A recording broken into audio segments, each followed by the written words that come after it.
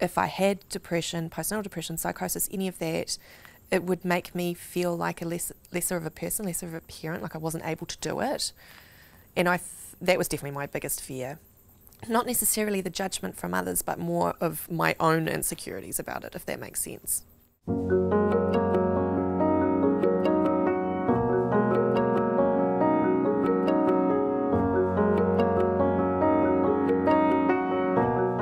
I'm Maria, and I run Happy Mum, Happy Child, which is a parenting blog and uh, website and social media accounts. And that was kind of born out of a need to document the activities that I did with my kids.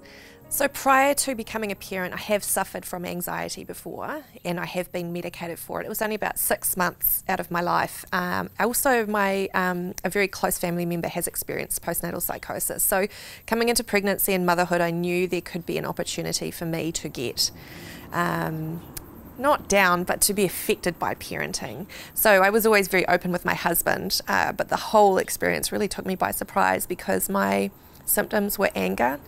And the turning point for me was when something upset me. I don't even remember what it was, but I ended up lying down on the floor and crying for 10 minutes. And while I was crying, I thought, something is not right. This is not right for me to do this. And my husband came home from work that night and I said, I think I need to make a doctor's appointment. I think I need to go and talk about this with someone. And that's kind of where it started. So, everybody's journey with depression or any mental illness is different and what I go through is not the same as what someone else goes through. but that doesn't mean that the steps to take to make yourself in a better space aren't the same. I was embarrassed. I definitely was embarrassed. So I think it took me at least a year to speak to my friends. But my biggest advice for people is to reach out and ask for help. And I know that is the biggest step, the hardest step. Do not sit there and think, okay, I'm fine, but actually continue to not be fine. Talk, talk, talk. So it is day one million, one million of the school holidays. And Phil is going to do some renovations to the house today. So me and the kids are going to go to Kiwi Valley Farms. I do a lot of what I do to help myself feel less alone. So I share my journey because I want people to say, I'm going through that too, because I like knowing that there are other people out there that are similar to me, and that in turn helps other people realize that they're not alone.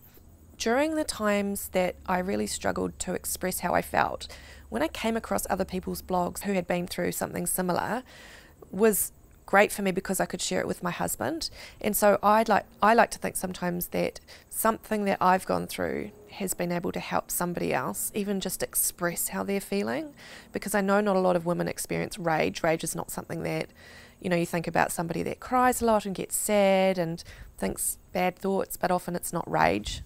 Parenting has still got a struggle for me. I, I might not be the best parent, I might not be the best blogger, but I feel like I'm doing something that I love. I love being a parent, yes, it's challenging, but I also love connecting with people as well. And I love talking. I have no issue with talking, I have no issue with being an idiot and people laughing. And yeah, I feel a bit more at ease with who I am now after the struggles.